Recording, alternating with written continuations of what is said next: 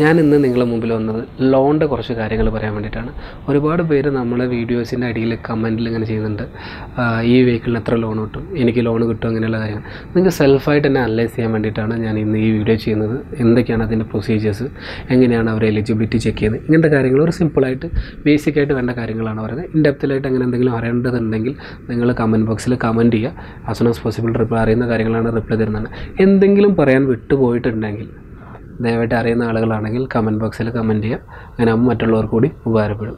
വീഡിയോയിലേക്ക് പോകുന്നതിന് മുമ്പായിട്ട് ഈ ചാനൽ ഇതുവരെ ആരെങ്കിലും സബ്സ്ക്രൈബ് ചെയ്യാത്തവരുണ്ടെങ്കിൽ ആ സബ്സ്ക്രൈബ് ബട്ടൺ ഒന്ന് അമർത്തുക. അതിന് തൊട്ടപ്പുറത്ത് തന്നെ ബെൽ ബട്ടൺ ഉണ്ട്. അതൊന്ന് എനേബിൾ ചെയ്യുക.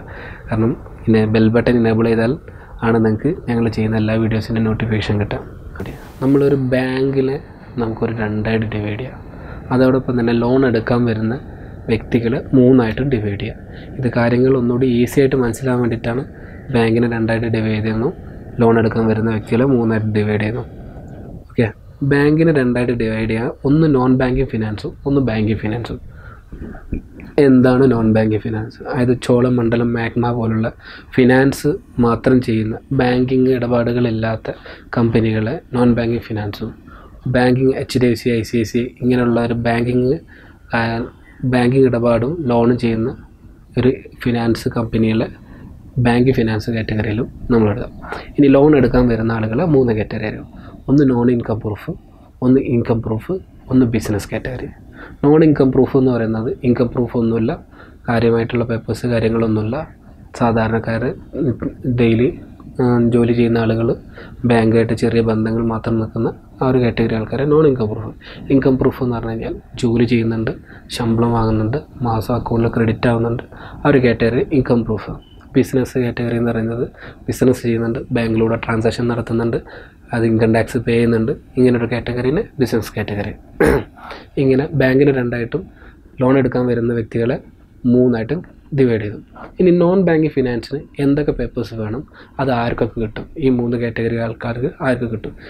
നോൺ ബാങ്കിങ് ഫിനാൻസ് ഈ മൂന്ന് കാറ്റഗറി ആൾക്കാർക്കും ലോൺ ചെയ്യും. അവർക്ക് വേണ്ട മിനിമം പേപ്പേഴ്സ് എന്തൊക്കെയാണെന്ന് ഞാൻ പറയാം. മിനിമം വേണ്ട നോൺ ബാങ്കിങ് ഇപ്പോൾ ഒരു മഹീന്ദ്ര അതായത് ചോളമണ്ഡലം മാഗ്മ പോലുള്ള ഫിനാൻസുകൾക്ക് മിനിമം വേണ്ട ഇപ്പോൾ ഒന്നുമില്ല. ഫോട്ടോ നിങ്ങളുടെ I D card address proof ഒരു സിഗ്നേച്ചർ പ്രൂഫ് സിഗ്നേച്ചർ പ്രൂഫ് പാസ്പോർട്ടോ ലൈസൻസോ അങ്ങനത്തെ എന്തെങ്കിലും വെക്കാം. പിന്നെ അഡ്രസ് പ്രൂഫ് ഇതേപോലെ തന്നെ പാസ്പോർട്ടിന്റെ പാസ്പോർട്ടോ അങ്ങനത്തെ എന്തെങ്കിലും ആധാർ കാർഡ് അങ്ങനത്തെ എന്തെങ്കിലും വെക്കാം. പിന്നെ പാൻ കാർഡ് പിന്നെ ലാൻഡ് ടാക്സ് പിന്നെ അതോടൊപ്പം തന്നെ last six month bank statement ഇത്രയും പ്രൂഫാണ് സാധാരണഗതിയിൽ നോൺ ബാങ്കിങ് ഫിനാൻസിന് വേണ്ടത്. ഇനി കോ അപ്ലിക്കന്റ് നിർബന്ധമാണെങ്കിൽ കോ അപ്ലിക്കന്റ് കോ അപ്ലിക്കന്റ് എന്ന് പറയുന്നത് ഞാനൊരു മൈനറാണ് പത്ത് ഇരുപത്തഞ്ച് വയസ്സിൽ താഴെയുള്ള ഒരു വ്യക്തിയാണ്. ആണെങ്കിൽ ചിലപ്പോൾ കോ അപ്ലിക്കന്റ് നിർബന്ധമായിരിക്കും കോ അപ്ലിക്കന്റ് ആണെങ്കിൽ ഫാദറോ മദറോ ആരെങ്കിലും റിലേറ്റീവ്സോ ആരെങ്കിലും കോ അപ്ലിക്കന്റ് ആയിട്ട് നിർത്തുക.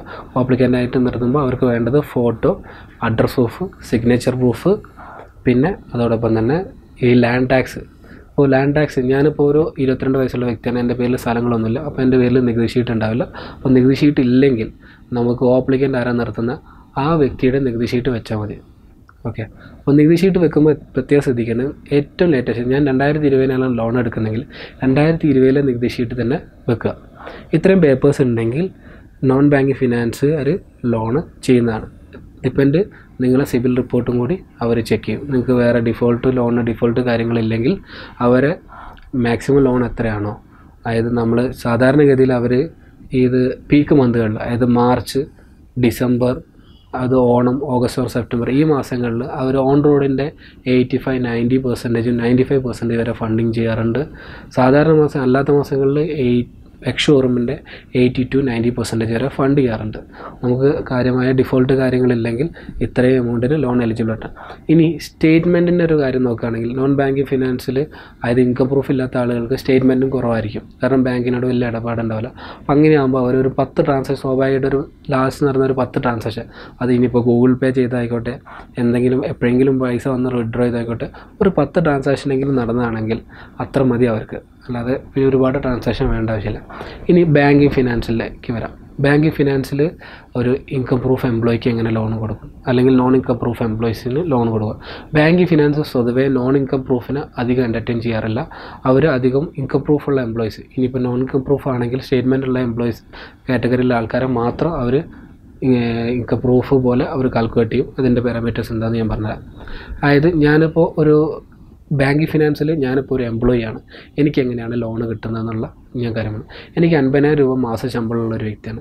അമ്പതിനായിരം രൂപ മാസ ശമ്പളത്തിൽ എനിക്ക് എത്ര രൂപ വരെ ലോൺ കിട്ടുന്നുള്ളത് അവർ ക്രോസ് ചെക്ക് ഞാൻ പറഞ്ഞു.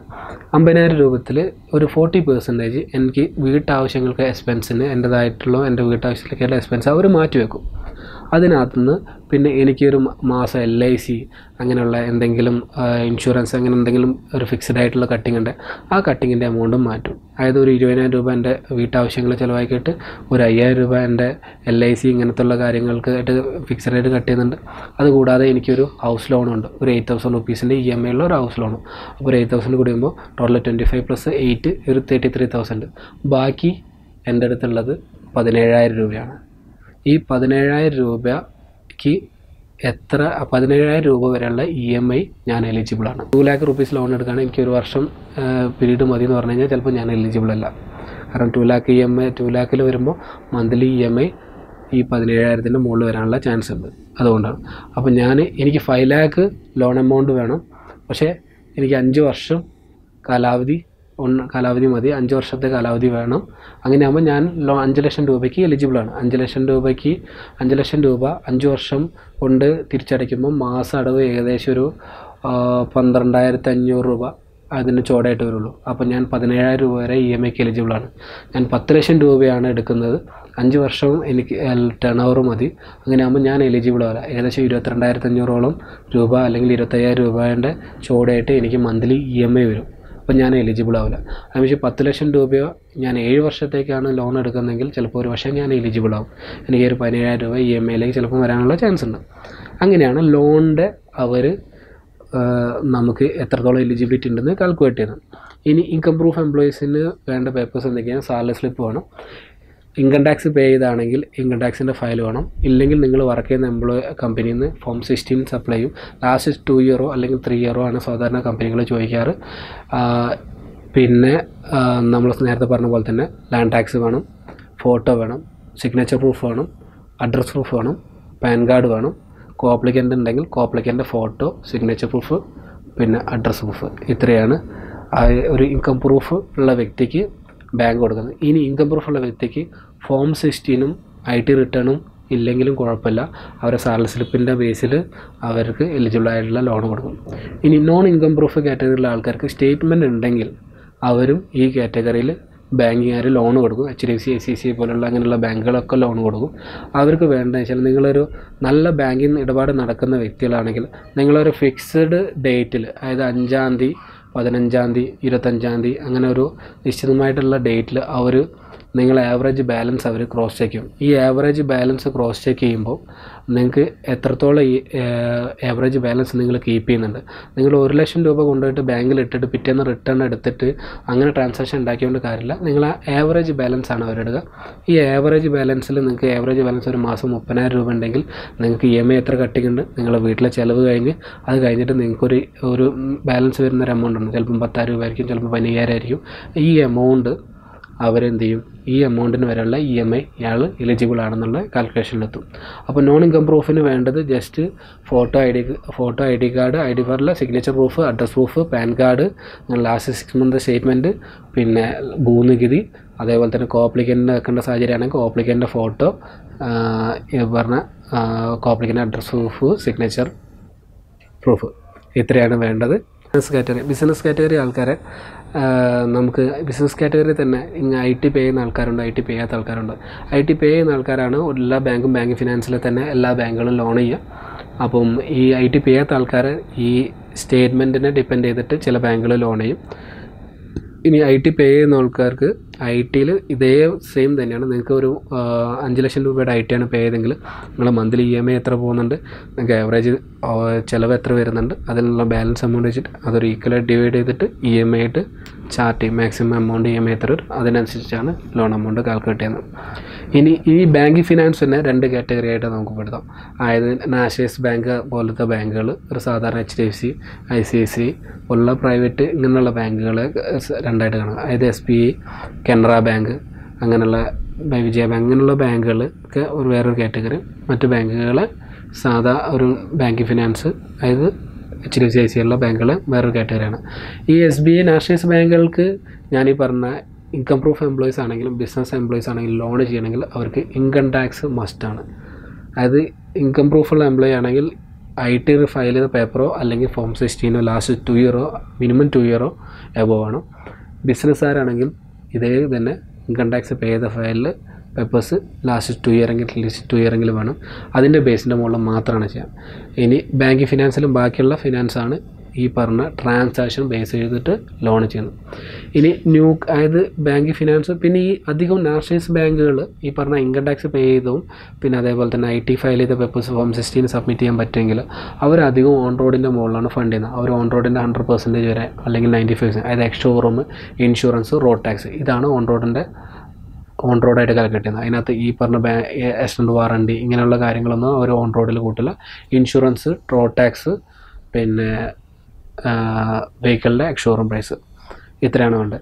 പിന്നെ ഈ ലോണിന് വരുമ്പോൾ ഇത്രയും പേപ്പേഴ്സ് പറയുന്നതിന് കൂടുതൽ നമ്മൾ പുതിയ വണ്ടിയാണ് എടുക്കുന്നതെങ്കിൽ ബാങ്കിൽ നമ്മൾ കൊട്ടേഷൻ കൂടി സബ്മിറ്റ് ചെയ്യേണ്ട ആവശ്യമുണ്ട്. ഈ നോൺ ബാങ്കിങ് ആണെങ്കിലും ബാങ്കിങ് ഫിനാൻസ് ആണെങ്കിലും നാഷണലൈസ് ബാങ്ക് ആണെങ്കിലും നമ്മൾ കൊട്ടേഷൻ കൂടി സബ്മിറ്റ് ചെയ്യണം. എന്നാൽ മാത്രമേ നമുക്ക് ഉള്ള ലോണിന്റെ അവർ കാൽക്കുലേറ്റ് ചെയ്യുള്ളൂ. ലോണിന്റെ എലിജിബിലിറ്റി പറയുക അവർ പറഞ്ഞു തരുള്ളൂ. ഇനി ന്യൂ കാറിന്റെ കാര്യമാണ് national bank maximum on road ഫണ്ടിങ്ങിന്റെ കാര്യങ്ങൾ പറഞ്ഞു. ഇനി സാധാരണ ബാങ്കുകൾ എത്രയാണ് ന്യൂ കാറിന് ഓൺ റോഡ് ഫണ്ടിങ് ചില ബാങ്കുകൾ ഓൺ റോഡിന്റെ നയന്റി ഫൈവ് വരെ വരുന്നുണ്ട്. ചില ബാങ്കുകൾ എയ്റ്റി പെർസെന്റേജ് എക്ഷോറൂമിന്റെ എയ്റ്റി പെർസെന്റേജ് ഓൺ റോഡിന്റെ എയ്റ്റി പെർസെന്റേജ് അങ്ങനെയൊക്കെയാണ് വരുന്നത്. അധികം പീക്ക് മുതൽ മാക്സിമം ലോണ് ഒട്ടുമിക്ക ബാങ്കുകളും കൊടുക്കാറുണ്ട്. കാരണം കൂടുതലായിട്ട് സെയിൽ ഉണ്ടാകുന്ന സമയങ്ങളാണ്.